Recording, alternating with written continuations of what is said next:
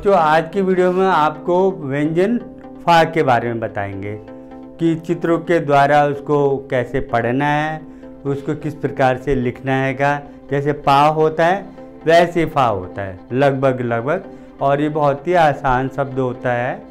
और इसको माँ बाप अगर इसका अभ्यास कराएँ बच्चों को तो ये बच्चे जल्दी सीख सकेंगे।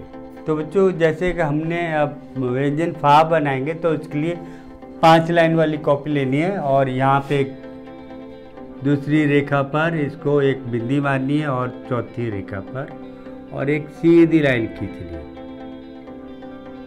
और यहाँ से एक सीधी कर्व लेते हुए पा बनाएँगे फिर यहाँ से नीचे घुमा देंगे पा और ऊपर एक रेखा खींचेंगे पा ऐसे यहाँ से बिंदी मारेंगे, एक सीधी रेखा घुमाते हुए नीचे ले जाएँगे। फा एक सीधी रेखा करेंगे।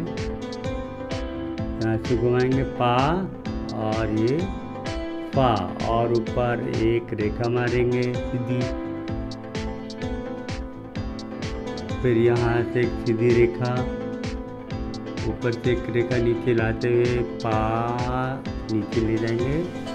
और ऊपर एक बड़ी रेखा खींचेंगे से पल ऐसे यहाँ पे भी सीधी रेखा खींचेंगे। ऊपर से नीचे लाते हुए इधर। ऊपर एक बड़ी रेखा फा से पल सीधी रेखा नीचे। पा बनाया, नीचे घुमाया पा से पल ऊपर से नीचे एक सीधी रेखा खींचेंगे। पा बनाया पहले, नीचे घुमाया, पा से फल। ऊपर से एक सीधी रेखा, चौथी रेखा तक और यहाँ से पा बनाया, नीचे घुमाकर ऊपर एक रेखा खींचेंगे पा। और इसी तरह बच्चों को बार बार फा व्यंजन का अभ्यास कराएँ।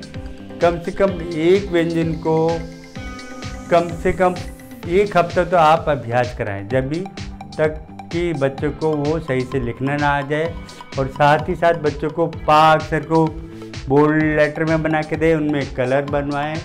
और हाँ और साथ ही साथ बच्चों को फा अक्षर बना के दें, बोल्ड लेटर में उसमें कलर बनवाएँ और इससे संबंधित कुछ जैसे फा से फल होता है, फलों का चित्र हो, वाली कॉपियाँ हो या कॉपी हो या मान लो बुक्स हो, उसमें कलर भरवाएँ।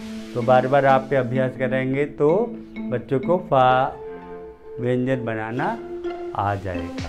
अगर आप लोग को हमारे, हमारा पढ़ाने का तरीका अच्छा लगे तो हमारे इस वीडियो को अधिक से अधिक लाइक करें शेयर करें, और अगर आप हमारे यूट्यूब चैनल पे नए हैं तो सब्सक्राइब ज़रूर करें, और हमारे फेसबुक इंस्टाग्राम को भी फॉलो करें। अगर आपका कोई हमारा सजेशन है? आप आप तो हम तो अपनी तरफ़ से पूरी कोशिश करें कि बच्चों को फ़ोटो के द्वारा, लिखने के द्वारा अच्छे से अच्छा हम उसको सिखा सकें। आप, अगर आपके पास कोई आइडिया हो कि भी हम और इसी को एक एक व्यंजन को और अच्छी तरीके से हम बच्चों को बता सकते हैं तो आपका सुझाव भी हमें शेयर करें।